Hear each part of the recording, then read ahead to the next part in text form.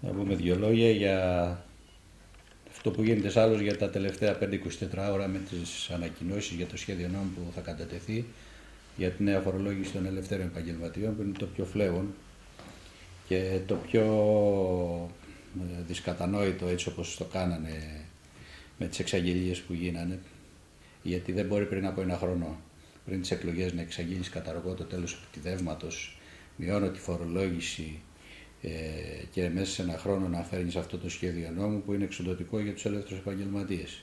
Ήδη σε, μετά από μια περίοδο κρίσης και μετά από τρία χρόνια κορονοϊού να έχουμε δει η τζίρη των επιχειρήσεων να πέφτουν στο 30% και σήμερα αυτή την εβδομάδα να εξαγγείλουμε μέτρα για τη φορολόγηση των ελευθερών επαγγελματιών στο ελάχιστο του κατώτατου μισθού.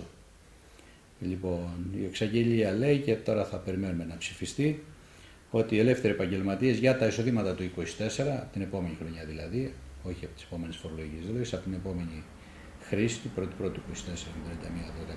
31 24, ασχέτως το τζίρο και τα κέρδη των ελευθέρων επαγγελματιών των ατομικών επιχειρήσεων, αν δεν φτάνουν το, τα κέρδη των 11.920 ευρώ, θα φορολογούνται με βάση αυτό το ποσό γιατί είναι ο ελάχιστος βασικός μισθός για έναν μισθωτό υπάλληλο. Λοιπόν, αλλά με αποτέλεσμα σε αυτό το ύψος του φορολόγησης έχουμε τον πρώτο συντελεστή με 9% μέχρι τις 10 πρώτες χιλιάδες και το υπόλοιπο χιλιάρικο περίπου 920 ευρώ με 22%. Ερχόμαστε πάνω από 1000 ευρώ να είναι ο φόρος για τον ελεύθερο επαγγελματία, συν 70% ή 100% προκαταβολή αναλόγως πώς είναι ο καθένας σε ποια χρονολογία λειτουργία του είναι. Συν το τέλος επιτιδεύματος που όχι καταργείται βέβαια. Ε, η εξαγγελία λέει ότι θα μειώνεται για όλους 25%, δηλαδή εδώ σε εμάς τα 650 ευρώ για τις ατομικές επιχειρήσεις θα φτάσουν γύρω στο 500 και 1100 που θα είναι ο φόρος. Ξεκινάμε με ένα φόρο με το καλημέρα με τα 1600 ευρώ, άσχετα αν επιχείρηση παρουσιάζει μία. Ε, υπάρχουν πολλοί ελεύθεροι επαγγελματίες, αρκετοί οι οποίοι λόγω κακών συνθηκών, ε, οτιδήποτε, δεν έχουν κόψει τιμολόγια, δεν έχουν κόψει τρία-τέσσερα τιμολόγια και να φτάνουν τα 3.000 ευρώ. Θα Πώς υπάρχει... θα ζήσουν όταν στο τέλος ε, του έρθει το χαράτσι αυτό 1900 από τη στιγμή που ε, δύσκολα θα τα φέρει βόλτα οικονομικά και ο ίδιος ε, στην οικογένειά του, ατομικά. Ε, προβλέπει το σχέδιο αυτονόμου ότι θα απαλλάξει τους αγρότες από αυτή την κατηγορία και όσους ασχολούνται με μπλοκάκια. Αυτούς θα τους βγάλει εκτός γιατί τους θεωρεί τους μπλοκάκιδες ήδη σαν μισθωτούς ε, εφόσον έχουν μέχρι τρεις συμβάσεις εργασίας και μέχρι το ποσό των 10.000 ε, ευρώ. Υπάρχει αυτή η εξαίρεση, θα δούμε πώς θα λειτουργήσει. Τώρα ε, υπάρχουν δύο κατηγορίες αυτό που συζητάμε ε, αν απασχολεί η επιχείρηση προσωπικό ή αν δεν απασχολεί προσωπικό. Γιατί όταν απασχολεί προσωπικό και έχει χαμηλό τζίρο και λίγα κέρδη, ανάλογα λέει με το μέσο όρο των ετήσιων αποδοχών του προσωπικού, ε, θα κυμαίνεται λέει από 15 έως 30.000 ό,τι εκμάρω το εισόδημα του ελεύθερου επαγγελματία. Περιμένουμε να οριστικοποιηθούν αυτά για να δούμε και τι μετά αντίκτυπο για μένα θα έχει ότι ο κάθε επαγγελματίας, αν ισχύσουν αυτά τα μέτρα, θα απολύσει σε πρώτη φάση το προσωπικό. Δεν υπάρχει περίπτωση για μένα να κρατήσει άλλο ένα και δύο εργαζόμενους που τους πληρώνει με, με, με, φτύνει αίμα για να τους πληρώσει και να πληρώσει και τις εισφορές του. Λοιπόν, γιατί οι δύο υπάλληλοι σίγουρα θα στοιχίζουν 20.000 το χρόνο, το ελάχιστο με το βασικό μισθό όπως το αντιμετωπίζουν. Δηλαδή, αμέσως αμέσως εγώ βλέπω ότι θα πάμε σε απόλυση προσωπικού από τις επιχειρήσεις, τις ατομικές.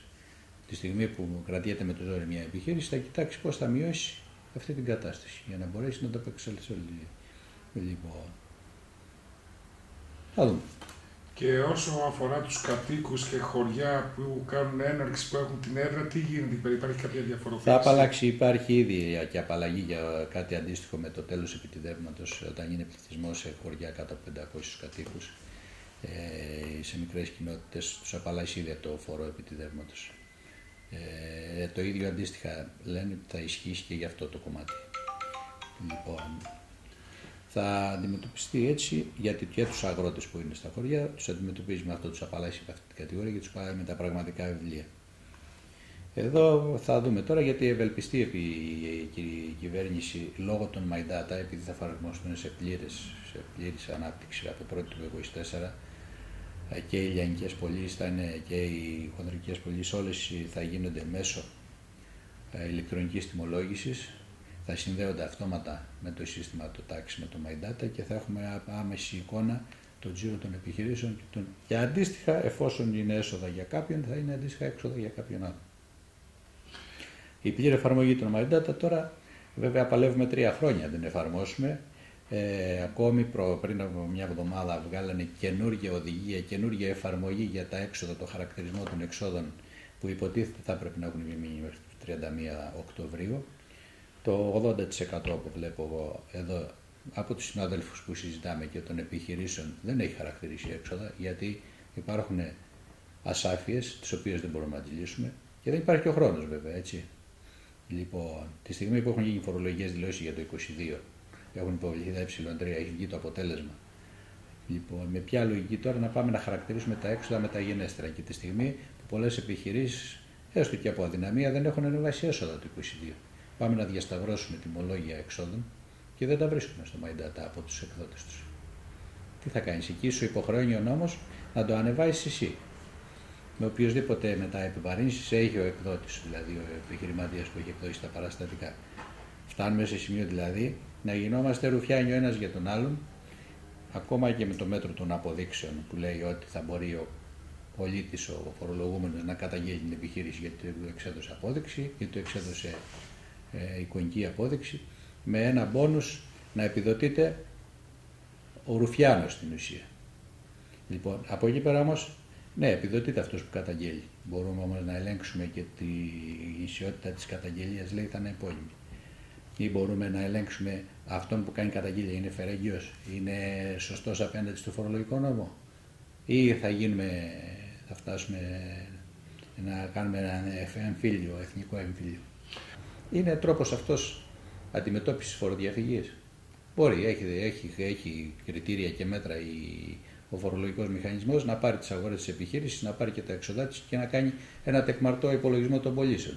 Θα μου πείτε, είναι στο χέρι μας τι να κάνουμε, να κλείσουμε την πόρτα, να μην δεχόμαστε τον κόσμο; Τη στιγμή που δεν μπορούν, εδώ οι νεολαίοι δεν μπορούν να κάνουν αιτήσεις για διάφορα πράγματα και έρχεται το κράτος και είναι αφαιρέγγιο απέναντι στον φορολογούμενο και στην επιχείρηση. Έχουμε πει ότι το e-send με τις ταμιακές μηχανές ενεργοποιήθηκε από Νοέμβρη του 20 και ε, μετά μέσα στον επόμενο χρόνο θα διασυνδέσει το e-send με το MyData.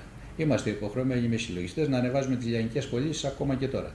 Χωρίς προθεσμία βέβαια, χωρίς πρόστιμο. Αλλά ποιος είναι ο φόρτος εργασίας σε εμάς; Δηλαδή το Υπουργείο δεν μπορεί να συνδέσει το e-send με το MyData και ζητάει, απέχει την απέτηση από τις επιχειρήσεις και από εμάς κατά προέκταση, γιατί όλα σε εμάς καταλήγουν, να είμαστε εμείς να εφαρμόζουμε προθεσμίες.